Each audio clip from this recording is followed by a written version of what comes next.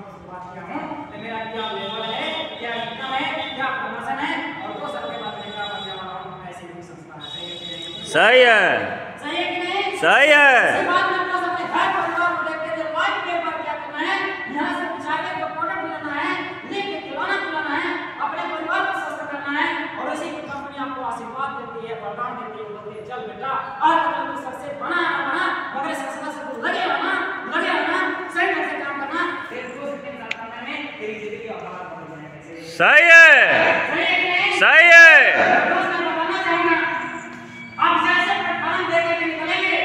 अभी चक्की पे जाएँगे आपको जाने पहचाने होंगे और पूछेंगे भाई साहब